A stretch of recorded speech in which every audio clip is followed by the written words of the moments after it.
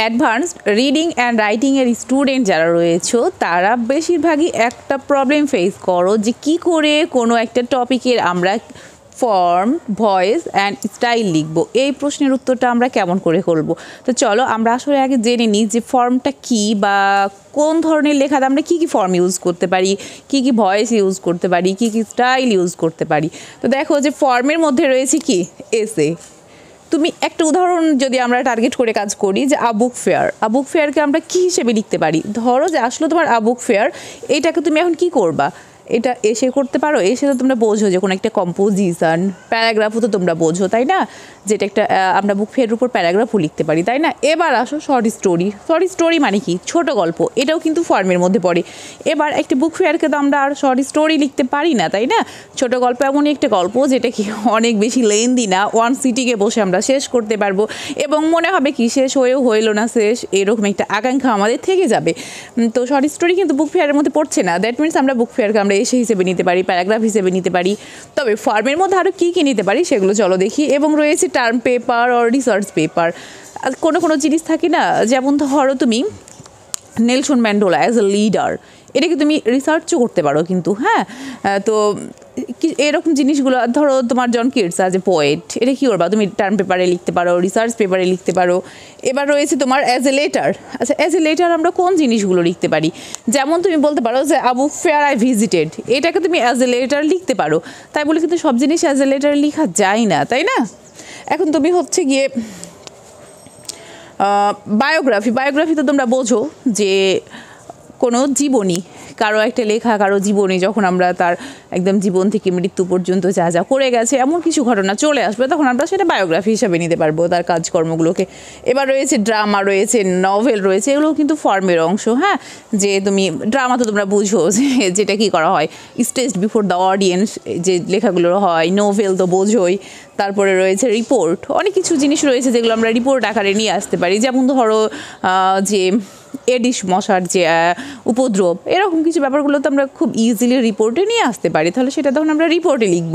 তো তোমরা এই উত্তরগুলো কী করে লিখবে? সেই ভিডিওটা আসবে আমাদের নেক্সট ভিডিওতে। এই ভিডিওতে আমরা জাস্ট জেনে নিব যে ফর্ম জিনিসটা কী এবং কোন লেখাতে কী কী ফর্মগুলো আমরা ইউজ করব ওকে এবার দেখো ফর্মের পরে রয়েছে কি ভয়েস ভয়েস জাস্ট দুইটা। সাবজেক্টিভ ভয়েস হতে পারে অবজেক্টিভ ভয়েস হতে পারে। এবার আসি আমরা যে সাবজেক্টিভ ভয়েসটা আসলে কী জিনিস? যখন কোনো জিনিসে আমি আমার নিজের মতামত দেওয়ার মতো সুযোগ পাবো, তখন সেটাকে বলব সাবজেক্টিভ আর অবজেক্টিভ দ্যাট মিনস তুমি এখানে এটা মনে রাখতে পারো যে কি নিউট্রাল যে এখানে কি হবে না, তোমার নিজের মতামত দেওয়ার মতো কোনো সুযোগ থাকবে না। সেটাই হচ্ছে গিয়ে অবজেক্টিভ অবজেক্টিভ ভয়েসে নিবা। যেমন ধরো তুমি বলছো যে ডিজিটাল বাংলাদেশ, অথবা হচ্ছে ডেমোক্রেসি ইন বাংলাদেশ, অথবা তুমি লিখছো যে একটা মনে করো তুমি বুক ফেয়ারের উপরেই লিখছো। এখানে তুমি নিজের মতামত দিলে না but a book fair I visited সেখানে তুমি নিজের মতামত দিচ্ছ। তাহলে সেগুলো কি অবজেক্টিভ আর যেটা হচ্ছে সাবজেক্টিভ মানে কি? তুমি নিজের মতামত প্রয়োগ করার সুযোগ পাচ্ছ। মাই বেস্ট ফ্রেন্ড তুমি বলতে যাচ্ছ my first day at school অথবা কলেজ সেখানে কি করবা? তুমি সাবজেক্টিভ ভয়েসটা নিবা। এবার আসো স্টাইলে স্টাইল হচ্ছে দুই প্রকার। একটা হচ্ছে গিয়ে তোমার ফর্ম ফর্মাল স্টাইল আর হচ্ছে কি ইনফর্মাল স্টাইল ওকে তো ফর্মাল স্টাইলটা তো তোমরা বোঝো যে যে লেখাগুলো মানে নথিপত্রভুক্ত করার জন্য লেখা হয়, সেগুলোকে আমরা ফর্মাল বলব। আর ইনফর্মাল যেগুলো তোমার হচ্ছে একেবারে ব্যক্তিগত যেমন বন্ধু বান্ধবকে উদ্দেশ্য করে কোনো কিছু লিখছি ইন জেনারেল সেগুলো কি? যেগুলো নথিপত্রভুক্ত করার তেমন প্রয়োজন হয় না। ইটস আনঅফিসিয়াল তখন আমরা সেটাকে ইনফর্মাল বলব ফর্মাল তো অফিসিয়াল বোঝোই। এবার একটা মজার বিষয় যে ভয়েস আর style subjective objective formal informal এর মধ্যে একটা তোমাদের ট্রিক বলে দিই, যাতে করে তুমি খুব ইজিলি আইডেন্টিফাই করতে পারো। সেটা হচ্ছে, যদি তোমার সাবজেক্টিভ হয় ভয়েস তার মানে যে জিনিসটাতে তুমি নিজের মতামত প্রয়োগ করতে পারছ, তাহলে সেখানে কি দিবা? স্টাইলে দিবা ইনফর্মাল ভয়েস সাবজেক্টিভ হলে স্টাইল কি হবে? ইনফর্মাল আর ভয়েস যদি অবজেক্টিভ বা নিউট্রাল হয়, তখন সেটা হয়ে যাবে ফর্মাল ব্যাপার। ফর্মাল ব্যাপারে কি করতে পারো না? ফর্মালে তুমি হচ্ছে গিয়ে অবজেক্টিভের বাইরে সাবজেক্টিভ যেতে পারবে না। যখনই দেখবা যে তোমার style objective that means voice হবে ফর্মাল এই ট্রিকটা তোমরা মনে রাখবে।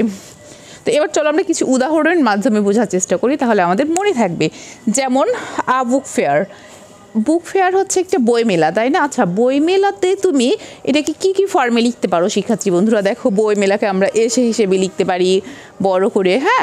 আবার প্যারাগ্রাফও করতে পারি বাট বই মেলার উপর আমরা সরি স্টোরি করতে পারি না। টার্ন পেপারও করার দরকার নাই। এবার লেটারও বই মেলার উপর হবে না বাট পরেরটাতে কিন্তু লেটার আসবে যে বুক ফেয়ার যেটা হচ্ছে আই ভিজিটেড এটার উপরে তুমি আবার লেটারও করতে পারো। ওকে তো বায়োগ্রাফিও হবে না drama novel report okay book ফেয়ারের উপর তুমি একটা রিপোর্ট করলে, এটাও কিন্তু করা যায়। তাহলে এই এগুলো হচ্ছে ফর্ম তুমি লেখার সময় এ কথাগুলো নিয়ে আসবা যে it can be written in essay or paragraph or report হ্যাঁ? ওকে এবার, আবুক ফেয়ারকে আমরা যদি ভয়েস হিসেবে নিই তাহলে বুক ফেয়ারের ক্ষেত্রে তোমাকে নিউট্রালি লিখতে হবে যে বুক ফেয়ারে কী কী ঘটনাগুলো হয়ে থাকে। সে সেটা অবজেক্টিভ যেহেতু এটা অবজেক্টিভ অতএব স্টাইলটা কী হবে? ফর্মাল হবে, তাই না? But a book fair I visited যদি হয়, এটা কিন্তু ব্যক্তিগত। যেহেতু এটা পার্সোনাল তখন কি করবা? তুমি এখানে সাবজেক্টিভ ভয়েস দিবা আর স্টাইল হবে কি ইনফর্মাল এবার দেখো ডেমোক্রেসি ইন বাংলাদেশ বাংলাদেশে হচ্ছে গণতন্ত্র। এটাকে তুমি ফর্মে কি লিখবা? ডেমোক্রেসি ইন বাংলাদেশের উপর আমরা চাইলে এসেও লিখতে পারি, চাইলে প্যারাগ্রাফও লিখতে পারি, তবে নট শর্ট স্টোরি হ্যাঁ অবশ্যই এটা একটা হচ্ছে মানে স্পেশালাইজড একটা টপিক সেই ক্ষেত্রে আমরা এখানে টার্ম পেপার রিসার্চ পেপার এগুলো কিন্তু লেখা যায়। ডেমোক্রেসি ইন বাংলাদেশে লেটার হবে না বায়োগ্রাফি হবে না ড্রামা নোভেল এগুলো না। রিপোর্ট ডেমোক্রেসি ইন বাংলাদেশের উপরে তুমি চাইলে রিপোর্ট করতেও পারো।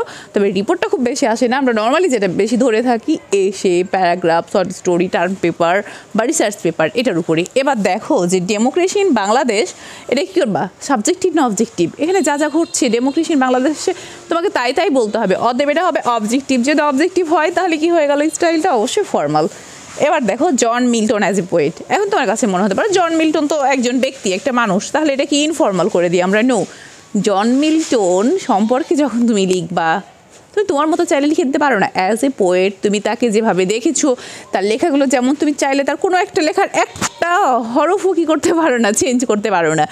একটা হচ্ছে গিয়ে তোমার ফুল স্টপও তুমি তার চেঞ্জ করতে পারবে না।